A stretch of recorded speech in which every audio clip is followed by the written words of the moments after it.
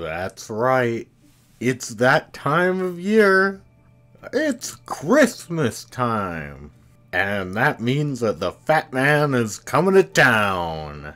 I have been actually really looking forward to talking about this movie because ever since I saw it, it has become one of my favorite films. Not only just for Christmas, but in general, really.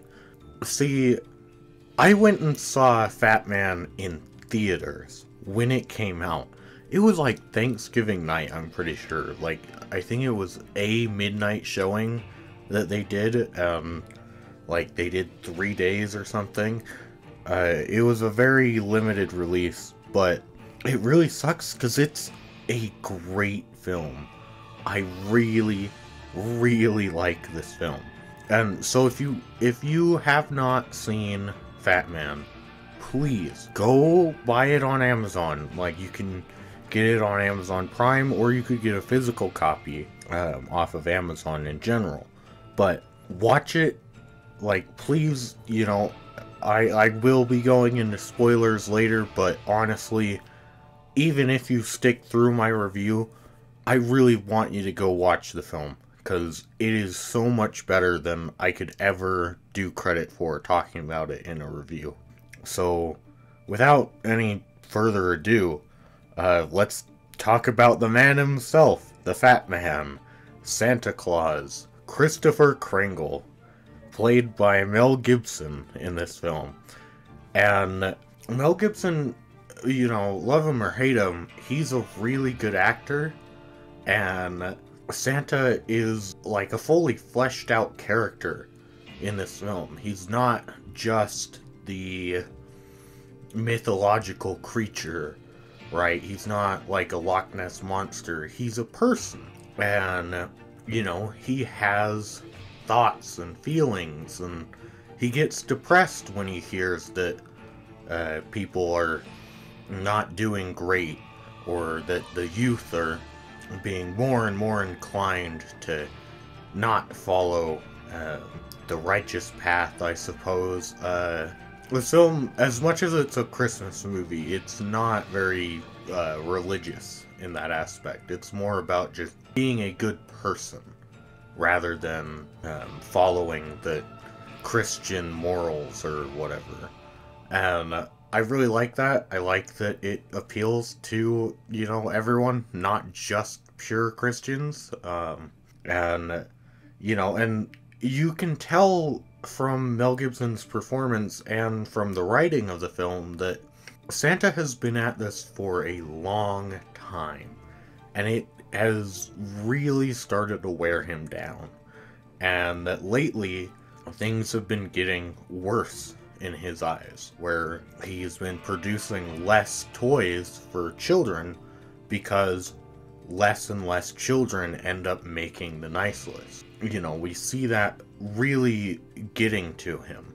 And unfortunately for him, this means that he is not going to be subsidized by the government, or at least not for what he needs which is a really interesting piece of world building throw in here that the government pays for Santa because Santa is a huge economic stimulus and it's really neat and I just I really like that even though this is a very very silly movie things like this are being taken seriously it really helps invest you into the story. And so Santa has to go into a one time, two month arrangement with the US military to build military equipment for drones. And uh, so the elves, they have to have their bells cut off and security around Santa's workshop is drastically increased, and so Santa is starting to look up, and it's really cool to see how he's been built up through the film, where we start off seeing him uh, Christmas Eve to Christmas or a little before um, Christmas night. And, you know, he goes through this ordeal with the military and he tries to find other people um, that he can provide service for that can pay him. But every other manufacturer in the world is now starting to be able to produce whatever they need to produce at a cheaper cost than his workshop. And that also bums him out. We also see that he recognizes people, which is a really fun thing that they kind of play around with, um, where almost every single person he runs into, he immediately recognizes who they are and what their life experience has been. And um, it's really cool to see, and it comes back into the story uh, later.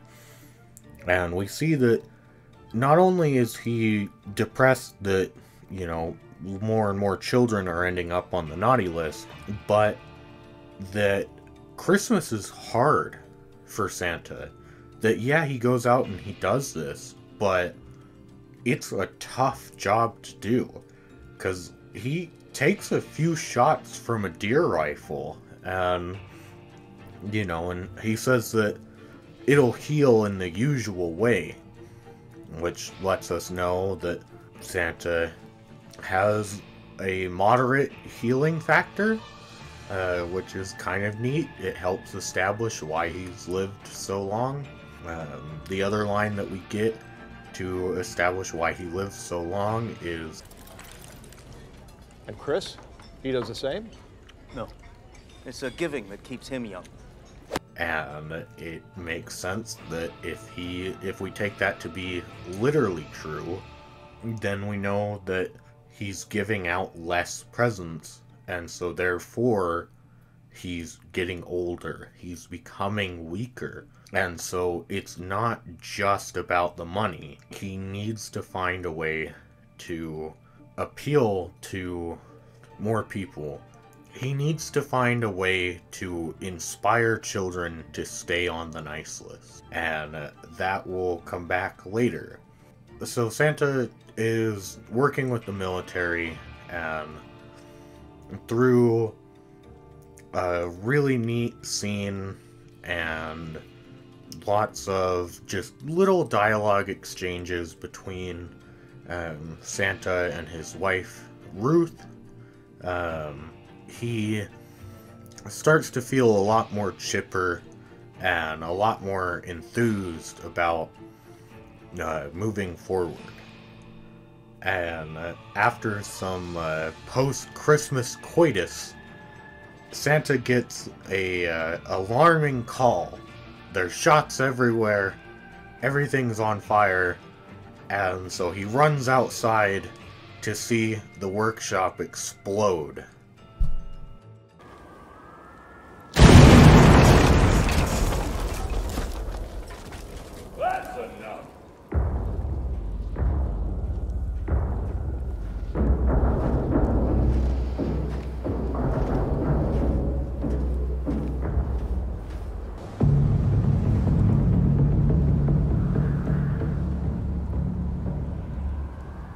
And so, who's this?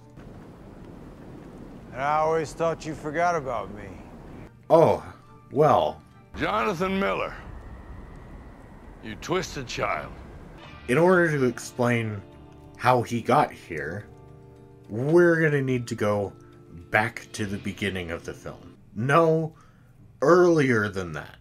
Meet Billy Winnan, or Wyman, it's pronounced a little differently uh, between each character, um, but I'm pretty sure it's meant to be a play on winner. Uh, Billy, he loves to win the science fair. He is a spoiled rich kid who is, for the most part, neglected by his father. And his mother is out of the picture. Um, we don't get a mention of her, so more than likely she's dead, but we do know that his father is somewhat neglective, and Billy lives with his grandmother. And uh, Billy likes to win the science fair. So this year, Billy didn't win the science fair. Instead, it went to another classmate of his. And so Billy does what all normal kids do in that situation they call up their father's hitman and uh, interrogate their classmate until they get them to forfeit the competition so that he can win. Now, obviously, this is something that won't get you on the nice list. And so when Billy runs down Christmas morning and opens his gift from Santa, it's a lump of coal. To which he responds,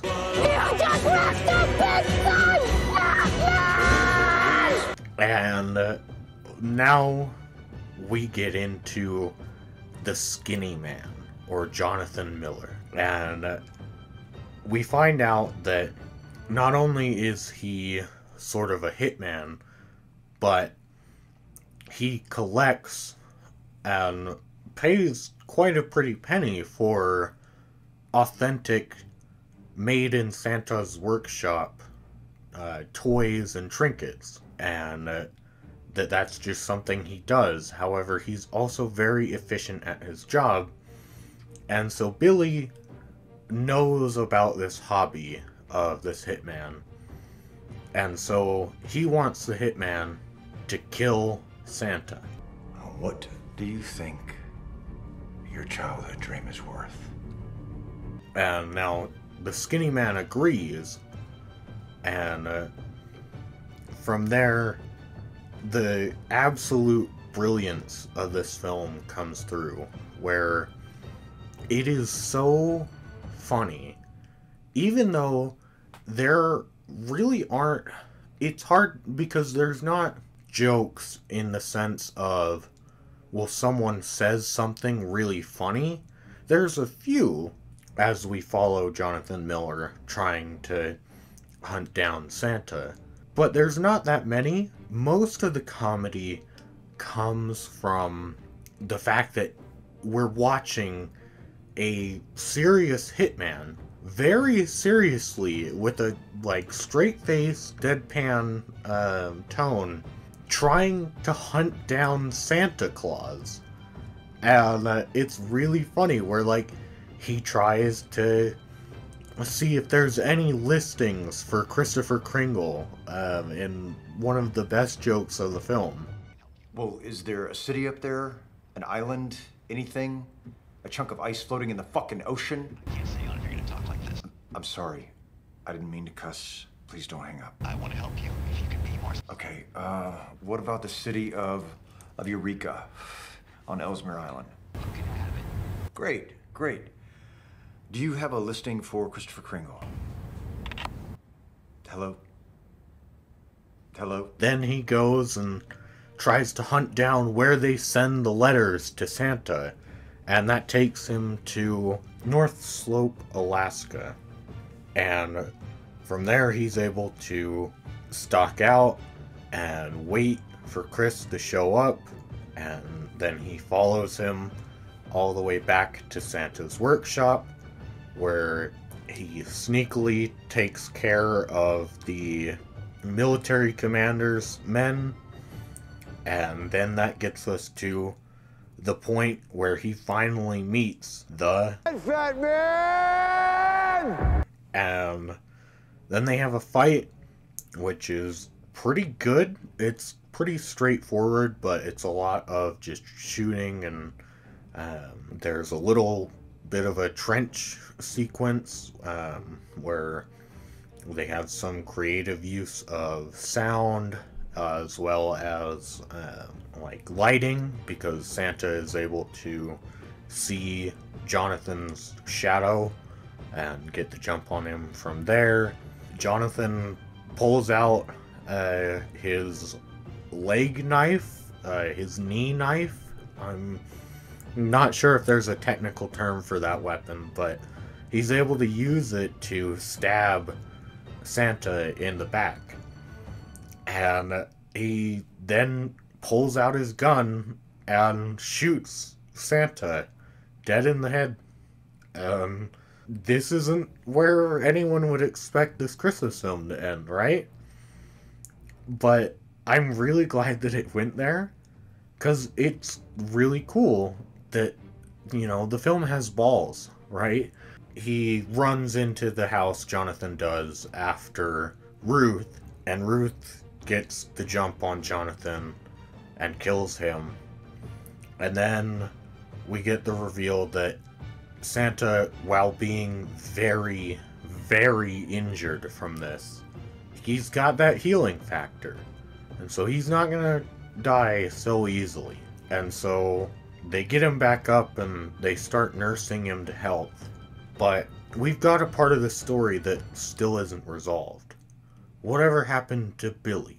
Well, we see Billy in his grandmother's house, and his grandmother has found out that a lot of money is missing from her bank account because someone, and she doesn't know who, but it has in fact been Billy, has been forging her checks so that he can pay the hitman and presumably for other things. Now, Billy goes into his room and comes up with a solution to his grandmother by mixing in fentanyl with her nightly milk when he gets a knock on the door.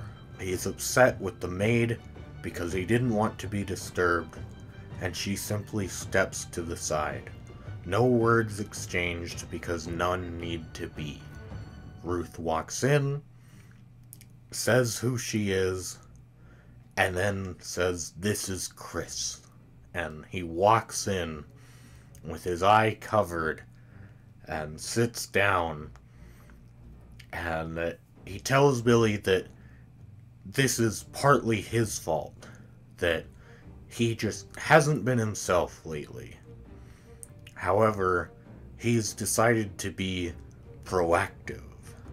And I really like the idea that the solution to Santa's whole problem of not sending out enough gifts and, um, you know, growing older because of that and uh, being weaker because of that and not having the money to support himself because of that, that all of that is solved by the idea that Santa will now go out into the world and uh, give children on the naughty list a push to either get better or, you know, who knows what might happen. But uh, overall, I really, really like this film.